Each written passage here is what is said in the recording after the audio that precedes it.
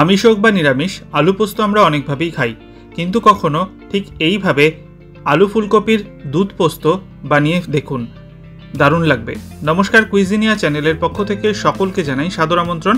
আমাদের সবার channel কুইজিনিয়াকে subscribe করে পাশে থাকা বেল বাটনের অল আইকন প্রেস করে রাখলেই সব নতুন ভিডিও নোটিফিকেশন আপলোড হওয়া মাত্র আপনাদের কাছে পৌঁছে যাবে।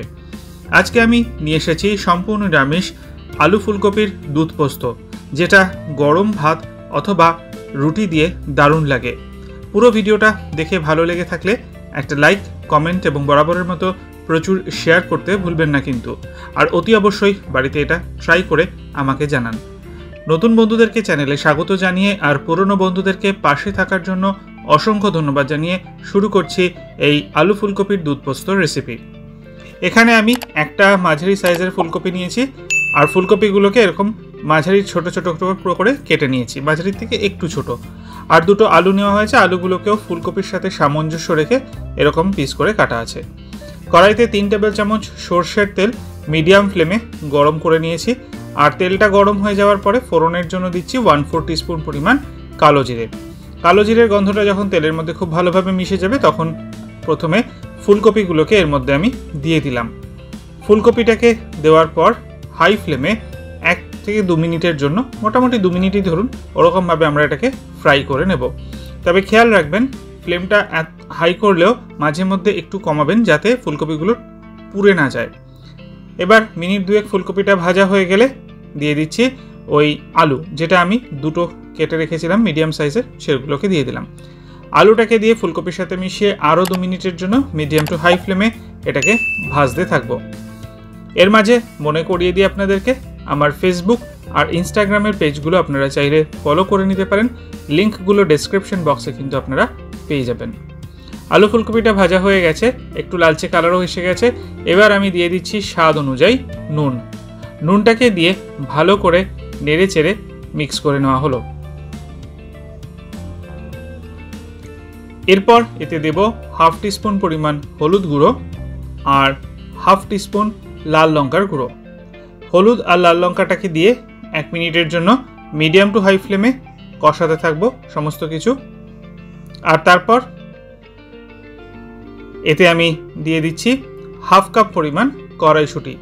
কড়াইশুঁটিটাকে দিয়ে আরও একবার নেড়ে চেড়ে মিক্স করে নিলাম মিনিট খানেক আরও এরপর এতে দেব একটা মূল উপাদান, যেটা হচ্ছে দুধ। এখানে আমি আড়াইশো গ্রাম দুধ একটু ফুটিয়ে গরম করে, উষ্ণ গরম করে এর মধ্যে দিয়ে দিয়েছি। দুধটাকে দিয়ে ভালো করে নেড়ে চেড়ে মিক্স করে নিলাম আর একটা পেস্ট আমি এবার বানিয়ে নেব। তার জন্য একটা মিক্সি জার আমি নিয়ে নিয়েছি আর তাতে দিয়ে দিচ্ছি ছয় ছয় টিস্পুন পরিমাণ পোস্ত। আপনাদের কোয়ারি থাকে এই মিক্সি জারটার ব্যাপারে। তো আমি যে জিনিসগুলো ব্যবহার করি কিচেনে সেগুলোর লিঙ্ক ডেসক্রিপশন বক্সে দেওয়া থাকবে ইনক্লুডিং এই মিক্সি জারটা আপনারা চাইলে চেক করে নিতে পারেন আর ওখান থেকে আপনারা ডাইরেক্ট পারচেসও করতে পারেন। প্রথমে পোস্তটাকে আমি শুকনো অবস্থায় গুঁড়ো করে নেব ভালো করে।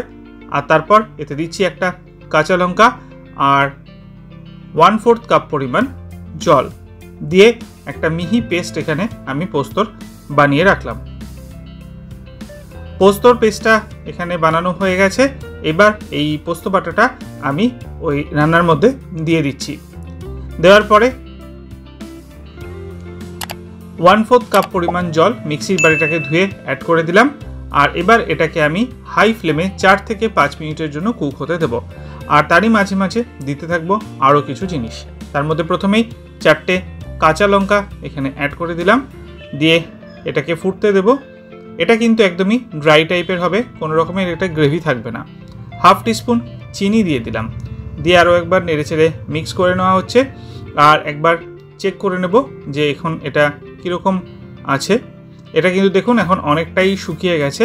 এবার এটাকে আমি নেড়ে চেড়ে দিলাম, আর সেদ্ধ হয়েছে কীরকম সেটা একবার চেক করে নিচ্ছি, একদমই সেদ্ধ হয়ে গেছে, আলু, ফুলকপি সবই। এবার দিয়ে দিচ্ছি এক স্পুন পরিমাণ ঘি। ঘিটাকে দিয়ে নাড়াচাড়া করে মিক্স করে গ্যাসের ফ্লেমটাকে অফ করে দিলাম। আর তাহলে কিন্তু এই দারুণ সুস্বাদু, সম্পূর্ণ নিরামিষ আলু ফুলকপির দুধ পোস্ত সার্ভ করার জন্য রেডি বাড়িতে অতি অবশ্যই বানানার কমেন্টের মাধ্যমে আমাকে জানান কেমন লাগল। ভালো লেগে থাকলে একটা লাইক এবং শেয়ার করতে ভুলবেন না কিন্তু। যারা এখনও চ্যানেল কুইজিনিয়াকে সাবস্ক্রাইব করেননি, অনুরোধ করব চ্যানেলটাকে সাবস্ক্রাইব করে পরিবারের সদস্য হয়ে যাওয়ার জন্য। সবাই ভালো থাকবেন, সবাই সুস্থ থাকবেন। আজকে এ পর্যন্তই, আবার দেখা হবে। নমস্কার।